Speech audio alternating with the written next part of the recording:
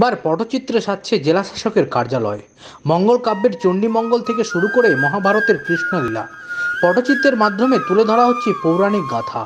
আর এই পটচিত্র জেলা শাসকের কার্যালয়ে যে নতুন মুকুট যোগ করবে, এমনটাই মত জেলার সাংস্কৃতিক মহলের বছরের পর বছর ওদের হাতেই ফুটে উঠেছে রামায়ণ মহাভারত চণ্ডীমঙ্গল ও মনসা মঙ্গলের ছবি।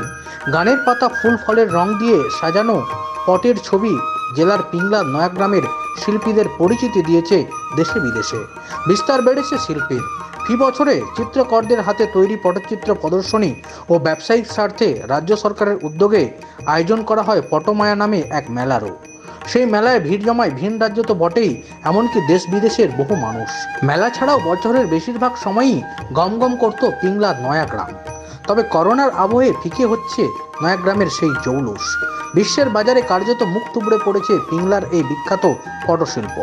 পটশিল্পীদের অর্থনৈতিক স্বাচ্ছন্দ্য ফিরিয়ে আনতে ও কর্মসংস্থান বাড়ানোর লক্ষ্যেই সরকারি অফিসগুলিকে পটচিত্রে সাজিয়ে তোলার উদ্যোগ নিয়েছে জেলা প্রশাসন। জেলা প্রশাসনের এমন উদ্যোগে খুশি পটশিল্পীরাও। পিংলার নয়াগ্রামের মধুচিত্রকর, বাহাদুর চিত্রকরদের দাবি জেলা শাসকের কার্যালয়ের এই পটচিত্র কার্যালয়ে আসা বিভিন্ন ব্যক্তির মধ্যে জেলার এই সংস্কৃতির এক অনন্য ছাপ ফেলবে। পাশাপাশি অর্থনৈতিকভাবেও চঙ্গা হতে পারবে তারা। জানা গিয়েছে, প্রাথমিকভাবে জেলা শাসকের কার্যালয়ের নয়াগ্রামের চার চিত্রকর দুই পটচিত্র নিজেদের রং তুলিতে ফুটিয়ে তুলেছে। পরবর্তীতে জেলার অন্যান্য অফিসগুলিকেও পটচিত্রে সাজানোর পরিকল্পনা নেওয়া হতে পারে বলে জেলা প্রশাসন সূত্রে খবর। পটচিত্র আঁকা হচ্ছে, কি কি বার্তা দেওয়া হচ্ছে সেখানে?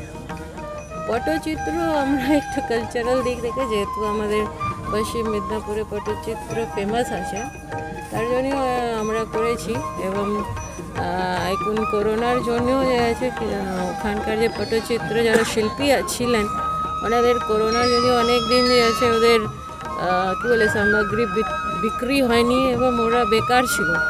তো আমরা চাইছিলাম ওদের কিছু, আমরা রোজগার বি হয়ে যাবে প্লাস আমরা যে কালচারাল যে আমাদের সাংস্কৃতিক ধরোহর আছে, সেটাও আমরা মানুষকে দেখাতে পারব। যেহেতু ডিএম অফিসে অনেক লোকজন আসে, যায়, তো মানুষ যদি এটা দেখে, তো নিশ্চয়ই এটা একটা পাবলিসিটি বি হবে। পশ্চিম মেদিনীপুর থেকে ক্যামেরায় অলোক মণ্ডলের সঙ্গে দিগ্বিজয় মাহালের রিপোর্ট, মন্টেল নিউজ।